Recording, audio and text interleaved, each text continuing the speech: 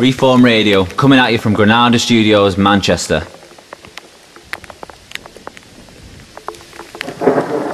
We're only on our way to bloody Arvon. Boy, poetry, countryside, rain, awesome people. You can't really, uh, can't really get better than that. Everyone's in very good spirits. Yeah, everyone's cheer. My name's Jack, and um, I'm up front with the driver, just helping, you know, a bit of directions. My name's Adam. Bloke talk. I'm also very excited. I'm feeling Um, you know, fantastic. Just gonna uh, let those words flow out of me when uh, when the pen hits the page. Yeah. Yeah. Scared, confused, excited, mixed feelings. Um, I trust your reform, yeah? lost, lost, alone, afraid, confused. Like a survivor's log. Just talking, just right. They're getting through the door, they're breaking in! Ah, We have just arrived at Arvon. Doesn't look like there's much to do around here. It's alright, we've got pens, pens and paper, and we have our words. That's all we need. When I arrived at Lumbank, I thought it looked like Narnia, like a little haven in the woods. When I first arrived at Lumbank, I thought it was absolutely amazing. It's very idyllic, and I'm surrounded by very beautiful scenery and people. I just thought it was absolutely beautiful and it's exactly where I would want to be to do this type of thing. I didn't have a picture in my mind of what the place was going to be like, but even if I did, it was nowhere close to what it, to how good it actually is. Today is my first day at Lumbank and I'm already absolutely loving it. All the staff are absolutely beautiful and the food's amazing. The stars are shining bright. Worldwide monkey carnage, the downfall of society and mankind is on the brink of self-destruction and just when you thought things couldn't get any worse, the monkeys turn on us and we're getting our ass. One of the things we did this morning was called swag bag. So we had uh, two bags full of words. We'd uh, take a handful of words out and then we'd form, uh, use the words to form sentences and uh, it would inspire.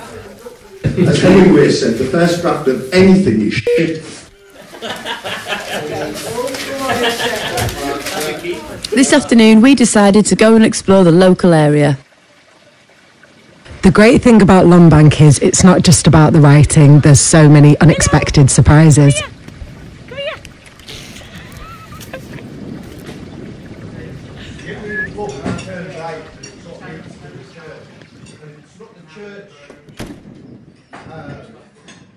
Every day a different group cooks and does the washing up and the other people have the day off to chill and be served like kings and queens. dream riding. I am everything. I can smell everything, touch anything.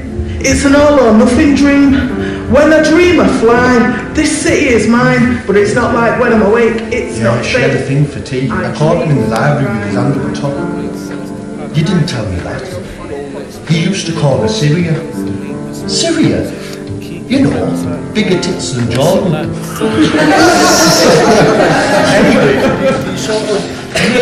Their, their understanding of the reasoning behind doing this sort of thing because we're giving this information, we're setting. Yeah, so this morning um, we discovered the importance of the wants and needs of characters.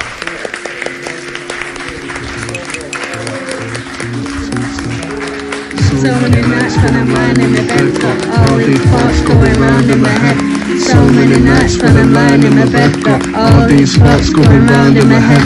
So many nights when I'm lying in my bed, got all these thoughts going round in my head.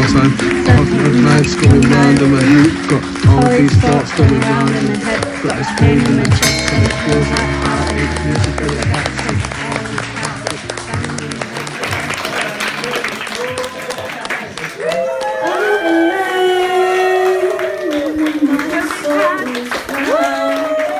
My name's Stacey, and I was inspired by Keisha, who actually came in to Arvon, and she's the one who inspired me to write poems. Having seen Louise and Keisha do the performances and after writing a few of my own, I'm kind of getting into the groove of it now. I'll probably end up writing a few more after I leave here. And I just wanted to say uh, thank you to everyone here at Lumbank, all the staff and all the performers. It's been great. It's once in a lifetime experience. Recommend it to anyone. Making friends with so many people. Like, because I'm kind of new to reform, and I just got offered this really awesome opportunity, and I was like, I don't know anyone. I expected that I'd be alone most of the time, uh, but I've actually became quite close with people and built some connections, uh, which is really awesome. We've been writing a story of Ishi since Tuesday, and today we focus on the final scene. I, I've never thought about doing script writing before, and Ishi's workshops have actually, like, like actually opened my mind to, to it now. Like, I'm actually really getting into my story, and I feel like I would do that. Like, I'm, I'm gonna finish my story properly and write more stories. So my time at Lumbank thus far has stretched my creativity so very far. From the early morning walks making me believe I'm in Narnia to helping making tea for 14 people. We made a bloody lovely veggie lasagna. The four days I've been filled with laughter, even fear and making friends. I'm actually really bloody sad it's nearly an end. I hope you've all taken from this something beautiful. that when we listen to our guest speakers and tutors work with massively dilated, how fucking amazing are these humans, pupils? So I'll end my poem and my chat with a thought I'm going to take away. We are the writers, the creators, and you know what? We're going to have our fucking say. I was particularly surprised about the sense of community here um, and my ability to make new friends and relations. It's really opened my mind, so I feel like I've actually found the key and I've actually just like unlocked my brain. I think what I've got most out of Arvon is just an amazing sense of community. I am the resilient giant. I am the catcher of light. I am forever defiant. I am the symbol of might. I bend with the breeze. I am the air I breathe, brought to a pace. I am the beauty that brings me to my knees. I am our natural face. I've been trying to write a song for two and a half years, but yesterday I finally completed my first song. So I'd like to say thank you very much to Arvon and everyone who invited me in. I liked um, collaborating with other creatives and other writers um, in many different forms. Uh, for example, on the first day, we started off writing a song, which then turned into a poem, which was amazing to see the evolution of the work and how certain creative minds can come together to create something new and fresh. I am green. I am plenty. I am desirable. I am something special. I am a spectacle. I am a vision in the day. It's been amazing, and uh, we've already made plans to try and come back again.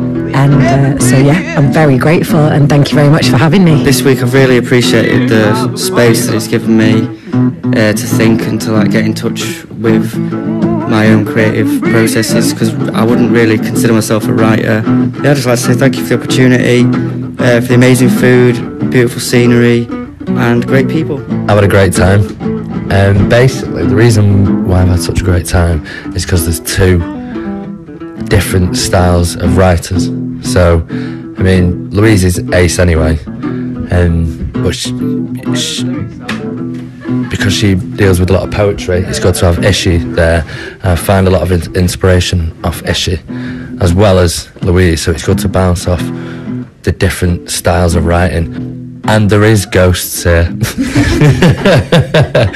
all night. there are ghosts everywhere. So if you come to Arvon, Thank you, everybody.